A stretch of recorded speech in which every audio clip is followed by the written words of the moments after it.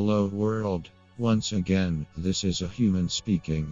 This time, we will be creating what is known as Penrose tiles. There are different looking Penrose tiles. We will be creating one with triangles.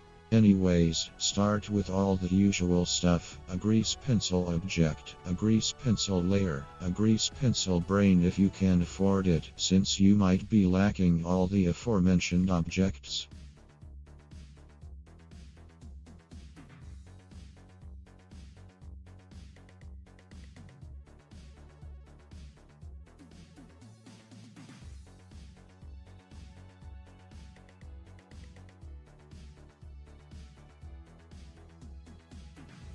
Sometimes I think why we do what we do when all you do is so irrelevant and infinitesimal in the grand scheme of things, or in your case, even in the smallest scheme of things, you weak minded baboons.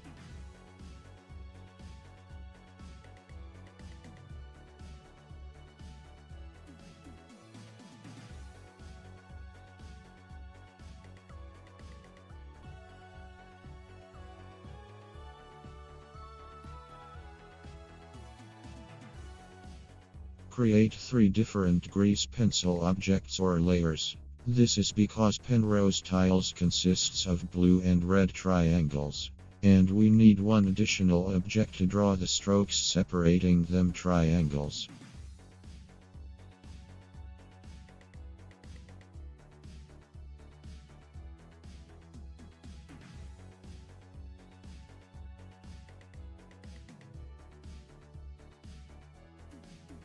So, all we need to draw are triangles, red and blue. We will use a complex number to represent the vertices of the triangle. Real being the x-coordinate and imaginary being the y-coordinate. And 0 and 1 to represent the color of the triangles. Write the function to subdivide the triangles based on golden ratio. It's just basic math.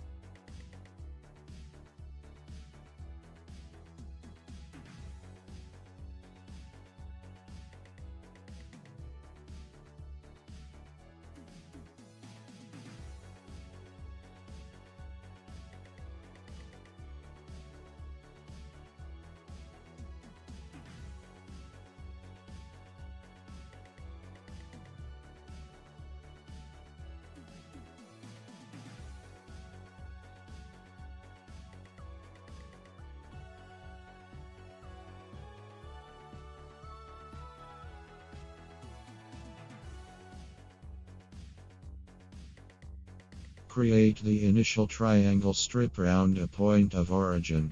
This is where complex numbers are really handy. After all, a lot of them are actually real numbers. That's it, really, that's it. Oh, and about the stroke, it's the same points, but the order is changed and don't close the loop.